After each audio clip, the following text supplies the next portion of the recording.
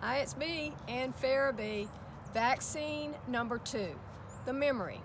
While sitting in the auditorium of my elementary school, looking up into the eyes of a nurse dressed in white and wearing a white nurse's cap, I remember her being quiet, polite, and serious.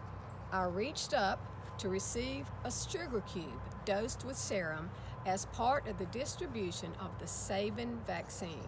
It was believed by scientists that it could eradicate polio. Polio was something I knew little about. I was too young to know, but I did know that uh, people that had died from it, and a student at my school suffered paralysis from it.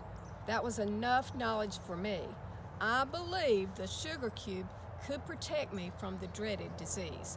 I nervously and gratefully took it. I wonder how the nurse felt that day. It was a seemingly simple task. At the same time, it held a great responsibility. Just another day at work? I doubt it. I believe she knew what she was doing was highly important.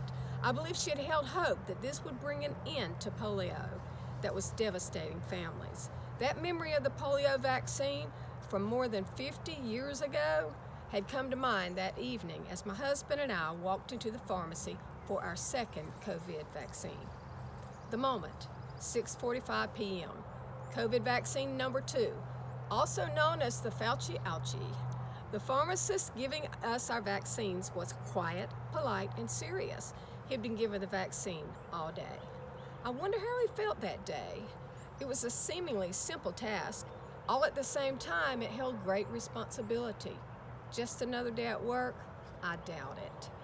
I believe he knew what he was doing was highly important. I believe he held hope that this would help bring an end to COVID that was devastating families. The after effect. We were aware that side effects from the second shot may be greater than they were from the first vaccine. They were for my husband.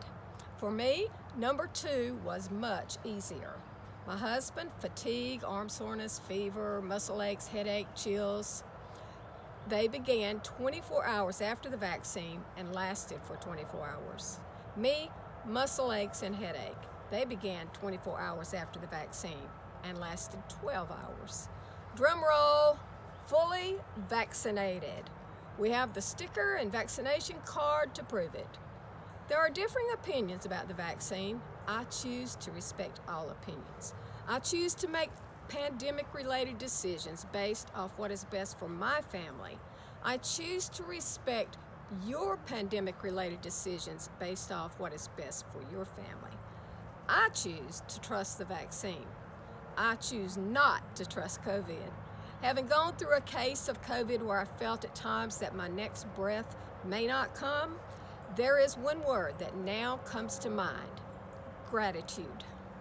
Gratitude to God, who not only forgives our sins, but also heals all our diseases. Psalm 103, verse 3.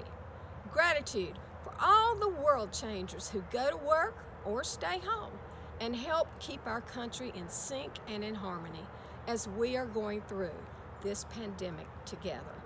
I see hope in all of you. I see hope in all of us.